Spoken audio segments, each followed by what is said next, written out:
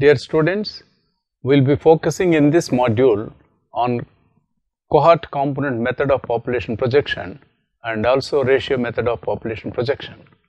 The learning objectives of this module is to acquire skills to project the population of a local by 5 year age groups and sex and by through this it is expected to enhance your abilities in adapting and using the cohort component method to project the total population size as well as uh, number of males and females for each 5 year age group for a specified future date. The cohort component technique uses the components of demographic change to project the population growth. The technique projects the population by age groups in addition to other demographic attributes such as sex and ethnicity. This projection method is based on the components of demographic change which includes mainly the births, deaths and migration. As we have seen in the earlier slides about the about the cohort component method, first equation refers to cohort component summary equation which is usually denoted as P of t plus n which is equal to survived population plus births plus net migrants. To project the total population size and the number of males and females by 5 year age groups, we need to find the number of people who survive or are expected to be alive in the future and add to the surveyed population number the number of births that takes place and the number of net migrants. Among several approaches, the approach described here is uh, very easy to use and requires minimum demographic information. However, there are certain assumptions that are to be considered. When the cohort component method is used as a projection tool, it assumes that the components of demographic change represented by mortality, fertility and migration will remain constant throughout the projection period. As a forecasting tool, planners can alter the vital statistics and migration estimates to reflect their future view of the future. It is also important that when making a 10 year projection, it is best to perform in two separate projections. That is a projection for the first 5 years and then a projection for the next 5 years. The result of the first projection is used to perform the second round of the projection. Using the cohort component method when population projections by age and sexes are needed is very ideal and important and for instance for 5 years, 10 years or longer periods of time if the projections are required. This projection tool allows planners to examine the future needs of different segments of population including the needs of children, women in the reproductive years, persons in labor force and the elderly. It also allows planners to project the total size of the population. The results can be used in all aspects of local and regional development plans.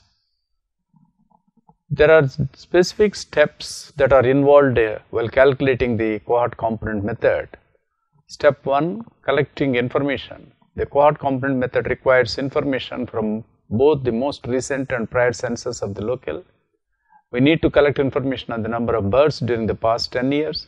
Ideally, information on births should be compiled by the age of the mother so that age specific fertility rates can be calculated.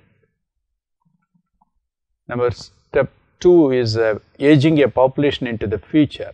That is, the cohort component method takes each age group of the population and ages it over time using survival rates. The third step is adding births that is uh, calculate the number of births that are taking place during the projection interval by age specific fertility rates when you use it it will help you to estimate the number of births that have taken place. The rates are multiplied by the number of women in their reproductive years and the results give an annual number of expected births. They are then multiplied by the projection period usually 5 years to obtain the total number of births that have taken place in the future. The age specific fertility rate indicates the probability that a woman in her reproductive years will give birth in a given year. The second equation is uh, focusing on sex ratio. Finding proportion of male births is equal to sex ratio of male ages 0 to 4 divided by sex ratio of females ages 0 to 4 plus 100. Then finding proportion of female births is simply is equal to 1 minus proportion of male births. Once the number of male and female birds have been determined, the results are multiplied by survival rate so as to determine how many babies survive into the future. The third equation refers to surviving population that is male birds that survive is equal to male birds into survival rate.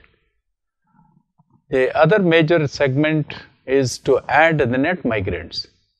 It can be a positive or negative number. Obtaining the number of net migrants is a two stage process. First calculate net migration rates, then multiply these rates by the surveyed population so as to obtain the number of net migrants. Applying the method, in this example, we focus on the, the assuming that the Ministry of Social Welfare wishes to develop a plan for women's development and craft center in a small district. The goal is to project the number of women for the district for the years given in the example. In the example, we can see that uh, the table refers to the first set of the tables for the projection that is projecting the population of females by the year 2005. Column 1 refers to age in, in the year 2000, then column 2 refers to age in 2005, column 3 refers to census uh, 2000 data, then column 4 refers to survival rates. And column 5 is the surveyed population. That is multiplying the columns 3 and 4. The data clearly depicts the various calculations and the results that comes out across different age groups and while projecting. In this example, a computer spreadsheet program is used because it, speed, it speed up in multiplying columns information. The first row in column 1 shows the births that have taken place from years 2000 to 2005. The age groups have been aligned so that women ages 20 to 24 in year 2000 will become 25 to 29 years in 2005. This first step is important as it helps to determine where to put the census data that is required for the projection. Next, uh, based on the census data for the year 2000 in the column 3, the census information should be provided for the age groups in column 1. Notice that the first cell is empty in column 3. This is because births will be added that uh, taken place during that pro projection period. Next, add 5 year survival rates to the table as shown in column 4 and finding the number of females alive in 2005. Once the table has been created and census information and survival rates have been added, it is possible to find out the number of women that survive in the next 5 years. Multiply column 3 by column 4 so as to find out the number of females that will be alive in the year 2005. The results are in column 5. Notice some of the females in each group are no more. Adding the number of birds. Estimating the number of birds taking place during the projection period is a two-stage process. First, calculate age-specific fertility rates. To do this, obtain information on the number of birds by age of mother for a three-year period around the date of the last census taking. If the number of birds by age of mother is not available, use regional or national age-specific fertility rates. Demographic and Health Service DHS are available for most of the developing countries and they provide age-specific fertility rates. The table 2 presents the data for calculating and adding the number of births. Table 8.2 refers to calculating births as in the column 1 various uh, broad age groups are given. The column 2 is the number of births that have taken place in 1999. Column 3 refers to the number of births in 2000 column 4 is uh, births in 2001 and column 5 that is births is equal to column 2 plus column 3 plus column 4 divided by 3 which gives the average average annual births. The annual births total in this example are given the births during the projection period is equal to annual births multiplied by the projection period and the female births will refers to the expected births multiplied by 0.49. The number of projected births which will be equal to 3731 multiplied by survival rate that refers to 3731 multiplied by 0.9809. Column 1 indicates the age of woman in the their age, different age, reproductive years. Column 2 to 4 present the number of birds for the three years surrounding the last census period. An average was taken of uh, the births prior to calculating a specific fertility rate by adding column 2, 3 and 4 and dividing by 3. Once the average births is obtained, the year 2000 census data is used for women in their reproductive years to calculate a specific fertility rates. To do this, the number of births is divided by the number of women in a given age group. Once the age specific fertility rates are calculated, they are multiplied by the number of survived women in each age group. The sum of column 9 provides the number of expected annual births. To find the number of expected births for the projection period, the number of annual births were multiplied by the projection interval of 5 years. It was also necessary to find the number of female births. To do this, the number of expected births was multiplied by 0.49. 0.49 is based on the use of equations 8.2 and 8.3. The final steps is to multiply the expected births by a survival rate which is provided in the table. Next is about estimating net migration. The last part of the projection involves accounting for population movements in and out of the projection area. Two methods of estimating the number of net migrants will be introduced. That is, both methods rely on survival rates and census information. It is important to be familiar with the definitions for migration and net migration prior to attempting these projections. Migrations are movements across political boundaries that are semi-permanent or permanent in nature. Net migration can be defined as the number of in-migrants minus the number of out-migrants divided by the population exposed to the possibility or risk of migration. That is net migration rate refers to immigrants minus out-migrants by population multiplied by constant k which is usually 100. Obtaining migration, migration information, the process of obtaining migration information has two approaches that is the direct method and indirect measures.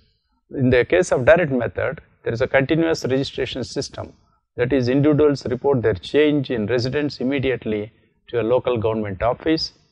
Use of census information, for instance, based on census question, where were you living 5 years ago? In this case, planners compare the place of residence with the place of prior residence. In the case of indirect measures, vital statistics or residual method or survival ratio method are widely used. Most planners rely on indirect measures for obtaining migration information. The equation 5 for the residual method is calculated as population of t plus n is equal to population t minus 1 plus births minus deaths plus net migrants. Net migration migrants is equal to population of t plus n minus population minus of births minus deaths, where population of t plus n is the current population, while population t refers to the last census population. In most cases, planners use survival rate methods to estimate net migration rates. The forward and reverse methods estimate net migration by age and sex.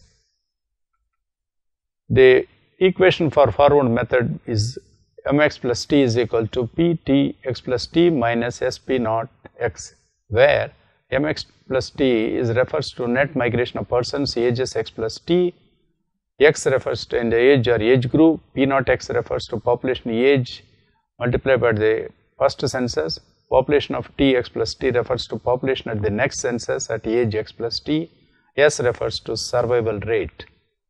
The survival rate is multiplied by the prior census population that is p naught x. The result provides an expected population for the present census method. Subtract the expected population from the present census period that is Pt of x plus t. The difference is assumed to be due to migration. The forward method estimates the number of net migrants at the end of the period and assumes that all migration takes place at the end of the period. All deaths occurs in the community for which the estimates are being prepared or all deaths are to be considered as non-migrants. One problem is that residents and migrants are moving and dying throughout the period. The reverse method equation refers to m is equal to ptx plus t by s minus p naught x. The reverse method used, uses a slightly different approach. The terminal population that is population in the last census is being revived to the initial census date thereby estimating the number of persons that would have been alive at the earlier date. Then subtract the expected population from the prior census data. Those persons who cannot be counted for are assumed to be migrants. The reverse method assumes that deaths occur to people after they migrate. The reverse method produces more net migrants. The differences are greatest at the older ages where mortality is highest. Most demographers compute both methods and average the results. The assumptions refers to that the both methods of estimating net migration assumes that population change not accounted for by fertility and mortality and is due to migration. Population change not accounted for by fertility and mortality may be due to migration. Let's discuss errors in the census counts. The boundary changes from one census period to the next. Table U 8.3 uses the forward method to estimate net migration. This method was selected because its process of estimating migration is easier to understand. Census data, for example, which were collected for 1990 to 2000 as well as information on the number of births that occurred in 1990 to 2000 and 10 year survival rates are used to calculate the estimates of net migration. The table 3 depicts the estimating net migration rates using the forward survival ratio method and the table clearly gives over different age groups how these uh, different components so as to obtain the results are presented clearly. We need to note that the first two rows in column 4 shows the births that took place from 1990 to 95 and from 1995 to 2000. In column 3, the first survival rate is S 0 to 5 for children under the age of 5 and the second rate is S 5 to 10 for children ages 5 to 9. The remaining survival rates are for a 10 year period. Notice how the table is set up for this estimation that is ages are put in column 1 2 to guide the placement of census information. The survival rates in column 3 are multiplied by column 4 to produce an uh, expected population for the year 2000. To determine the number of net migrants, the census 2000 population was subtracted from the expected population of year 2000. To obtain a net migration rate, the number of net migrants in column 7 is divided by the expected population in column 5. Some planners take an average of the expected population and the census data and divide the number of net migrants by the average of the two so as to obtain net migration rates. Of course, this is in refers to the individual choice of the demographer. The net migration rates in column 8 can be used to estimate the number of migrants that came or left the projection locale. Notice that some of the numbers are also negative. Negative numbers indicate out migration in given age groups.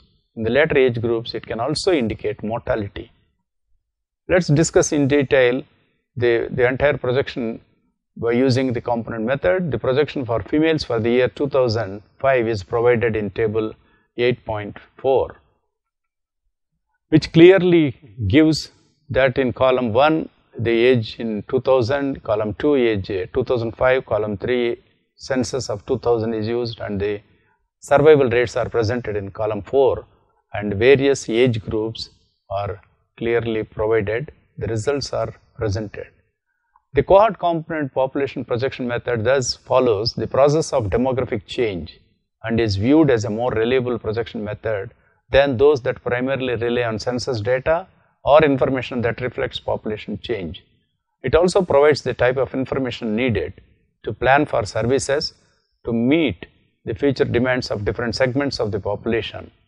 Like most projection tools, there are disadvantages by using the cohort component method. First, it is highly dependent on reliable birth, death and migration data. Thus, it may be difficult to collect the information on these components to apply this tool. Second, it assumes that survival and birth rates and estimates of net migration will remain the same throughout the projection period.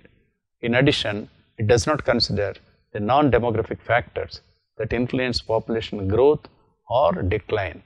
Even though problems exist, this method of projections is the most widely used tool by planners since it provides information on the potential growth or decline of a locale by age and sex.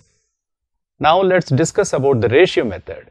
Ratio estimation uses the known population totals for variables to improve the weighting from sample values to population estimates. It compares the sample estimate of the variable with the population total. The ratio of the sample estimate to its population total is used to adjust the sample estimate for the variable of interest. Ratio estimation is frequently used by the auditors. The auditors use ratio estimation as a method of classical variable sa sampling. This type of sampling is usually referred to as an estimation sampling. The estimation sampling is used to estimate the actual value of a population characteristic within a range of tolerable misstatement. In audit sampling, the ratio estimation is a ratio of proportion of errors in the sample applied to the population value to estimate total error. This method applies the sample ratio to the entire population. Let us try to understand ratio estimation with the help of an example. Suppose you are auditing a company and you want audit evidence regarding the accounts receivable. Let us assume that the total accounts receivable of the company are US dollars 50,000. You choose a sample of dollars 10,000 and apply auditing procedures to this sample. As a result of auditing procedures, you find out that there were errors or misstatements of $1000. This means that your error or misstatement ratio is 10% that is $1000 divided by $10,000. With the help of this error or misstatement ratio, you can estimate the value of errors or misstatements in the entire population. For estimating the errors or misstatement in the entire population, you simply have to apply the above ratio to the entire population.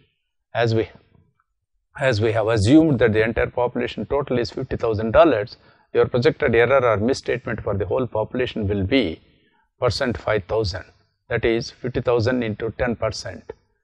$5,000 is the ratio estimation of the errors or misstatements in the entire population. Ratio estimation and estimation sampling are important tools that the auditors can apply in their auditing assignments to gather audit evidence, estimate the amount of errors or misstatements, and to form an audit opinion about the financial statements of an organization to see whether they present true and fair view. Ratio method is applied mainly for projecting the population of small areas within a country for which all inputs required by the component method are not always readily available. The method is also useful in the projection of urban and rural populations. This method is used where an area containing the population to be projected, say a district, is part of a larger or parental area for which projections are available. The small areas should exist in a perfect hierarchical structure that is where geographic units at each level are mutually exclusive and exhaustive and they can be aggregated to higher levels culminating in one all-inclusive unit.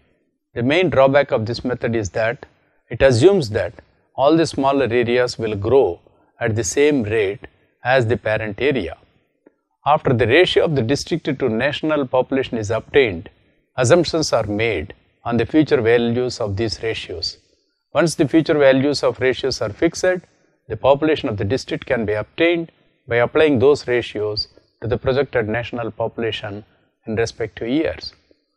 The table depicts clearly that the national population, next district population, then ratio of district to national population and the projected district population over a period of 2001, 2006, 2011 and 2016 and how the projected district population is uh, expressed uh, in terms of the population sizes. Let us discuss it with another example. The family of methods rests on the assumption that changes in any geographical area are a function of those experienced in that is successfully wider areas. Thus, the population of a city is held to be a function of that of the region, which itself is a function of that of the nation and so on. The requirements for such projections are time series of populations for the areas to be used in the analysis and a forecast or set of forecasts for the largest areas. In ratio methods, the population of the second is plotted against that of the parental area, in the example that is nation. Thus, a curve is fitted to the points thus obtained and by least squares, correlation, graphical or other methods is extrapolated to intersect the projected value for the parental area at a given forecast date. Clearly, if a range had been given for the parent area forecast, this would have resulted in a range for the region. As depicted in the log scale, the y-axis refers to East Midland region population in thousands, then the England population in millions over a period of time is uh, presented. In the second step down, the process is repeated using data for the study area and the region. Again, the curve is fitted and extrapolated to intersect the derived forecast for the parental area. It does not directly examine the components of population change which are subsumed in the central assumption. That is, there are certain forces at work in nations, regions and subregions which make for patterns and order in the proportionate share which the latter have in the former.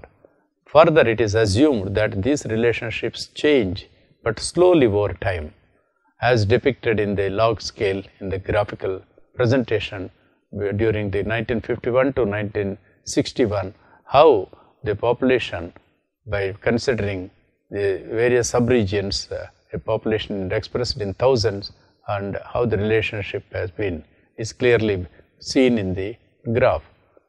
Overall, in this module, we are able to understand the various components method of population projection and how it is relevant by using uh, some of the examples and practically applying these so that we have able to reasonably understand the techniques that exist and the assumptions that have to be taken while projecting the population and also of uh, various subgroups that are required whether it is in terms of districts or states or nations or a particular country while projecting the population.